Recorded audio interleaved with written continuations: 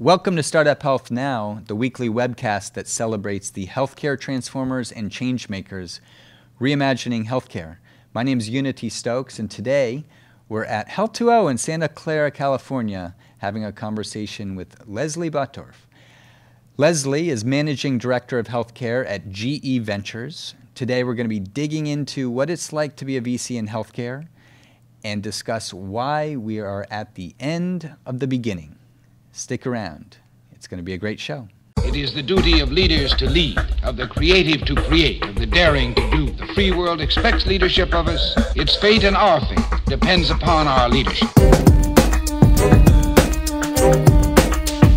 We are industrious, inventive, restless, with the fires that burn within us.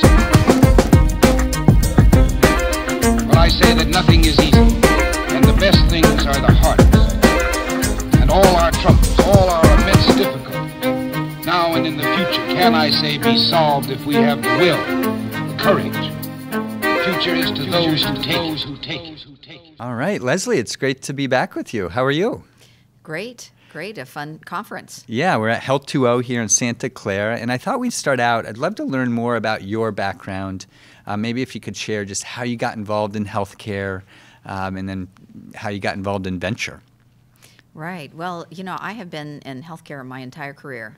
I, uh, I um, majored in biomedical engineering in school at Purdue, and even during high school, had this idea that I wanted to build the Six Million Dollar Man, which was Oh. a television show at the Yeah, time. I remember that. and um, and became interested in that, and so I went to Purdue, and um, so my career evolved from there. I actually went into sales and marketing after that, uh, but of technical products. I felt that uh, my uh, expertise was more in uh, explaining technical processes uh, than in designing them. So, did you start in the corporate side of things when you graduated? Uh, well, I actually was a salesperson. Okay. Um, General Electric at the time were, were hiring um, engineers to be salespeople and training us to sell all of their CAT scanners, cardiac cath labs, and all of their very sophisticated imaging equipment. And so I sold, I carried a bag for four years and really loved it. It was a great job, and I uh, am just very interested in the uh, technology. And um, uh, so I left that for uh, a couple years to go get an MBA uh, because I was more interested in being on the marketing side than the sales side. And uh, ended up coming out to the Silicon Valley and um, uh, working uh, in different sales and marketing roles for a, a series of startup companies. So, fairly early on in my career, I catered to going with the startup companies and working with entrepreneurs. I went initially with uh, a company called Nellcor, Okay. which is the company that put pulse oximeters on the map. If you might recall, we took it public while I was there. I was in marketing. And um, then another company called Menlo Care that was a spinoff of Raychem, a materials technology company that we sold to Johnson Johnson. And then uh, another one called Ventritex that was one of the early implantable defibrillator companies. And that was uh, eventually, it went public and eventually became St. Jude's implantable defibrillator. so, you were on, on the inside of all of those organizations. I was in various sales and marketing roles, and and basically um, uh, working on the positioning of those products and the initial commercial launch of all of those companies' products. And I love that. I got a great experience at a lot of different types of companies and different backgrounds, uh, different subsegments, d- disease states, and um, then ended up actually going back to a large company. Uh, I went to Medtronic as a VP of sales and marketing of the cardiac ablation division, but it was a startup company they had bought. And they needed somebody who'd been in a startup company to come in and help them ramp up, uh, get ready for their launch and ramp up their product uh, when it got ready.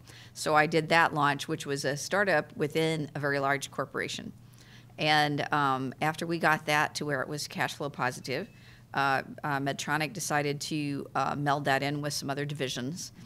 And um, uh, I had done four startups essentially at that point and been in the growth phases and the positioning of all of those.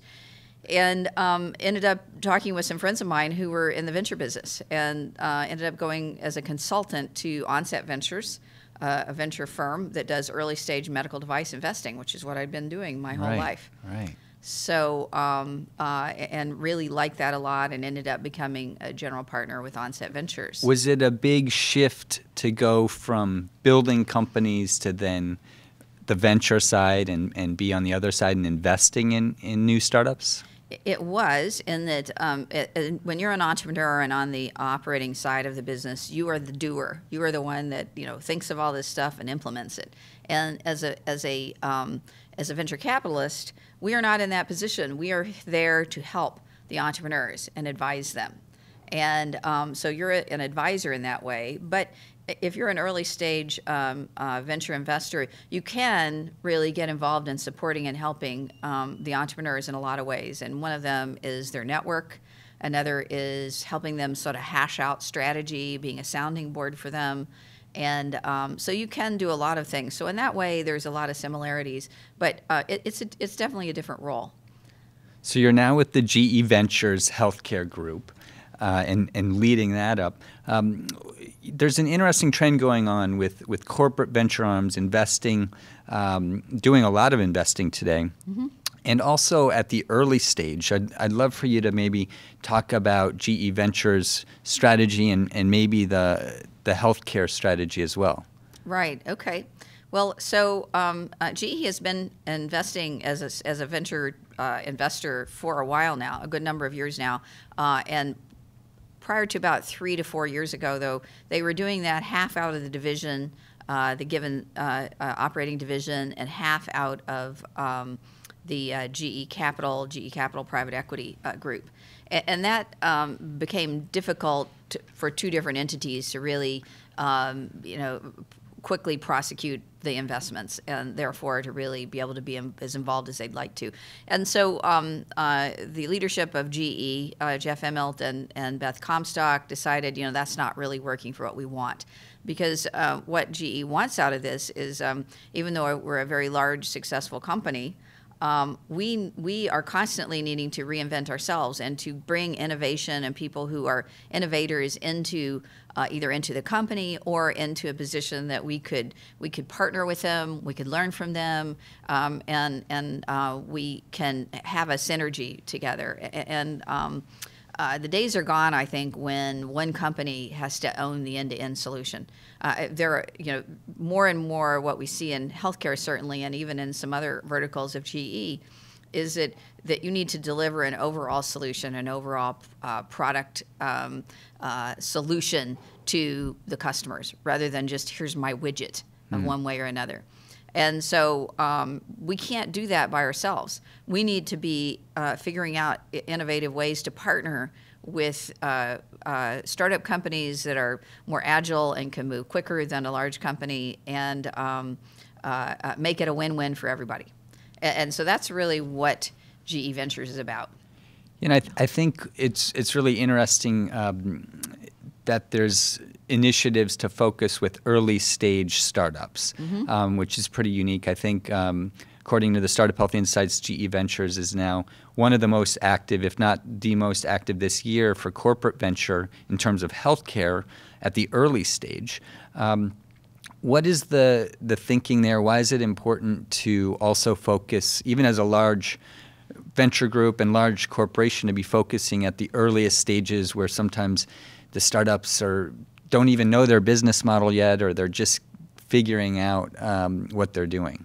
Well, and we are partnered with Startup Health for that very reason that we really need to be involved in that process. Because the fact is that, and in our vertical, certainly in healthcare, the entire healthcare system is being disrupted and that's in the United States, and it's also happening globally. And um, and so that's no doubt going to disrupt a lot of the uh, the current players' business over time uh, and um, also provide incredible opportunity. And my one of the things that I've learned in the venture business is whenever there is disruption, there is opportunity, mm-hmm. and we want to be on the front end to help you know help uh, entrepreneurs shape how that happens, and you know and and uh, uh partner with them to make it happen and we want to be a part of that whole process. Uh, so we need to see, you know, the, the, quote from Wayne Gretzky was, "I don't need to see where the puck is; I need to see where it's going."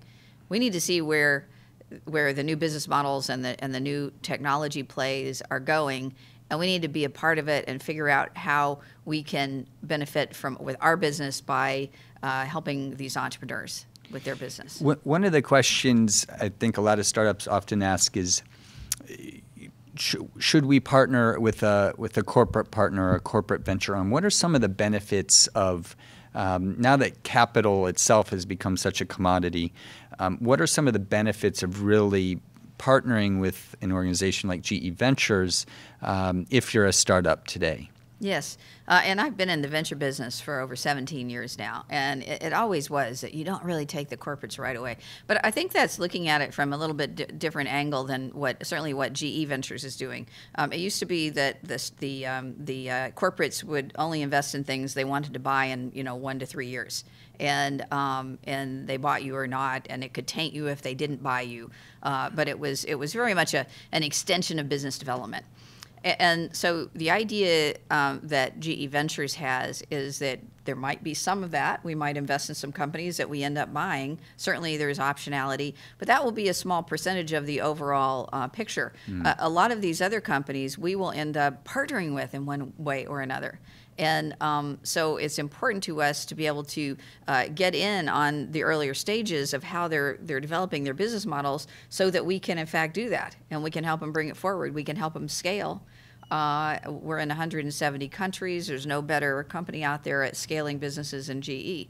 And so we feel like that it's important we will be investing across all stages, but particularly to keep our hand in working with these entrepreneurs on the early stage so we can help, you know, make some of those things happen and give them options. And, and so um, therefore, and we're open to, to, um, to uh, um, investing with other VCs and also with other corporates. We're okay with that. So if you if you invest in a company, it's not like they couldn't go get a customer that might be in a similar line of business as you. Um, what what are the rules of engagement on something like that, or right. is it a case by case? No, basis. I mean usually we don't have uh, uh, any uh, ties at, at, all. There might be if they had a tie to GE, it would be with the business unit, not with the GE Ventures people, and that would be you know that company's choice to do that, and, and our business unit's choice. So we don't require any particular ties to invest in you know uh, to invest from GE Ventures. Um, and so they're uh, they're free to do you know to take to take other investors, and um, um, so that should not be a constraint for working with GE. Yeah. One of the things, it's been really um, great to see GE Ventures grow over the last few years and, and really establish such a great presence um, on the West Coast and really around the world. What are, what are some of the innovations that you are looking for today, that you care about today, specifically on the healthcare side of things? Mm-hmm. Yeah, well, um, we think that this whole area of digital health is just tremendously exciting. And there are going to be a lot of, of good companies that come out of that, and a lot of exciting things for how healthcare is um, the direction of healthcare and how it's going to be deployed. Uh, one of the areas we think is uh, is a lot of activity right now, but it has a lot of um, uh, ways to go. Is uh, virtual health, and when we say virtual health, that could be a lot of different types of modalities and, and ways of, of um, delivering care. But uh, it's not just telemedicine. It's not just the old fashioned, you know, on the phone, we're going to have a doctor talk to uh, a, a, patient. That's not it. Uh, it it's, uh, that, that could be part of it, but it's using the entire breadth of, of what's available to us on the internet and data analytics and um, uh, uh, you know many other techniques, patient engagement techniques, mm. behavioral techniques, to affect the best solution in the end. And, and we think that there is a lot of opportunity there for uh, for um, uh, uh, innovation and, and better care models. Um, another area that we are interested in is um, uh, would be taking the middleman, let's call it that, out of a lot of the administrative things that happen to happen with, with healthcare and a lot of logistics that have to happen. Uh, there's a lot of money spent on that. And, and that's and, what the Ubers of the world have done so well in, in other, you know, for transportation, for example. Exactly, exactly. And that includes everything from payments and how you, and risk coding and how you even get paid and how the transaction happen, all the way to many clinical uh, processes and referral patterns and just every aspect of healthcare. And so uh, we think that there's tremendous potential there as well. We think there's great potential in uh, analytics. And one thing I would say about analytics is we've had a tremendous amount of entrepreneurs come to us just in the last couple years and say, you know, here I've got these data scientists here in the Silicon Valley, and we're going to tell you, you know, everything about who's going to live or die of cancer. Mm. And it's like, oh, do you, you know, what's your medical uh, backing in terms of who you have working with you and um, your clinical uh, data? And it's like, oh my God, we don't have any clinical data or anything like that. And, and I think that's that's not a model, at least the GE is going to be investing in. I mean, it, because that's not a model I think that flies with the healthcare business as a not as a wellness platform, but as a we're going to deliver care to patients who need it, the chronic diseases and that kind of thing. I mean, what we're looking for are people who have, have gone and gotten, used their analytics to, to give new insights, to give new information about a particular clinical situation or a particular diagnosis or, or, or whatever it is. Um, and, and I'll say personal medicine, but that oftentimes, you know, a lot of people think that's just genomics. And not just genomics, it's every piece of information that is about that patient that can be, uh, give a useful insight and so we're really interested in companies that are doing that and that are following up with clinical data on on on their analytics uh, and or their um, uh, uh, their their uh, uh, decision support tool. Uh, and we just think that there's huge potential for that. We have a number of companies that are are pursuing that area. Are you excited about the pace of innovation that you're seeing, having seen so many different things in healthcare over the years, are you surprised by how fast things are moving, say, with digital health, precision medicine, you mentioned, mm-hmm. um, virtual health, as you talked about? Mm-hmm. Is it getting to where it needs to be, or are we just at the earliest of stages and we can't even imagine where it, it's going to go? What's your view on maybe where it's going? Oh, I think it's the, uh, I would call it like Churchill, I would call it the end of the beginning. okay. yeah, not the beginning of the end, but the end of the beginning. You know, uh, I, I, think that there's huge amounts of things that are that are you know going to evolve out of this for um, changing the way we deliver healthcare. Uh, and, and, there's a lot of activity right now. We've made a great start. Um, but there's a long, uh, a long uh, way to go with it. And um, I think that it's not surprising. It's it, the, the, pace is fantastic, but many of these things, which is great, are are things that are not. You know, physical. You don't have to prove out a physical um, clinical result over. And some of it's the business models where the innovation's coming from. Exactly. A lot of it's the business models that can make a big difference in how a patient's treated, uh, uh how how efficacious it is, and how much it costs and cost is really a problem in our system today. And so, so I, it doesn't surprise me that that can go faster. But in the end of the day, even companies who are doing decision support and that kind of thing still need to back what they're doing up with some some data.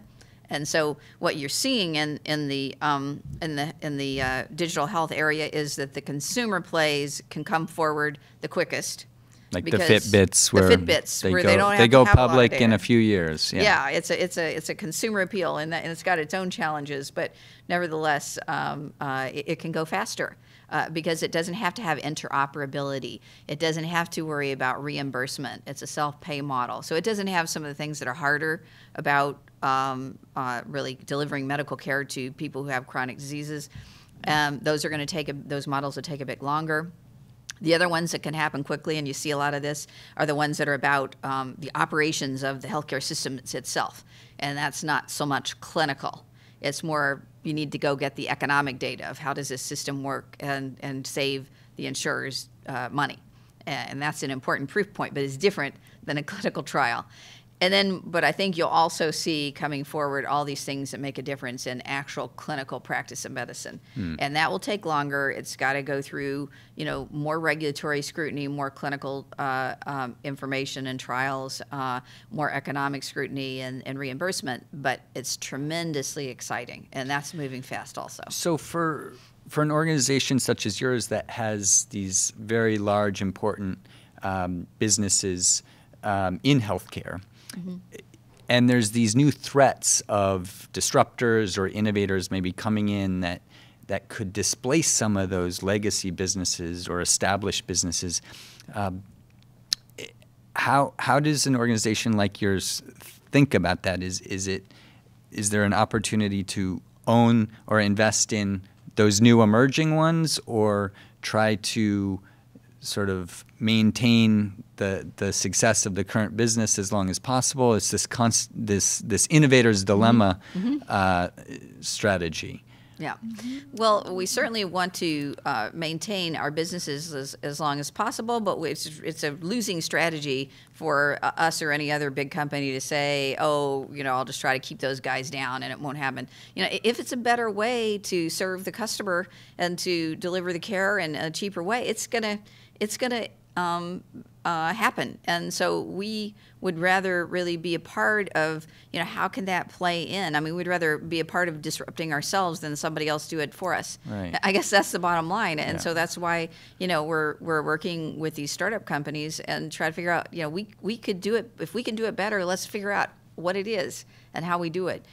Because it's just a loser strategy just to say, I'm going to like, you know, try to keep everybody else down and just not do anything different. I, I- I think that, um, you know, that, that's not going to work for anybody. You guys have been very progressive, I think, with focusing on external innovation and partnering and collaborating on external innovation. What would your advice be, maybe to other large organizations, maybe even in other industries um, or parts of health or healthcare? Maybe they're a consumer company.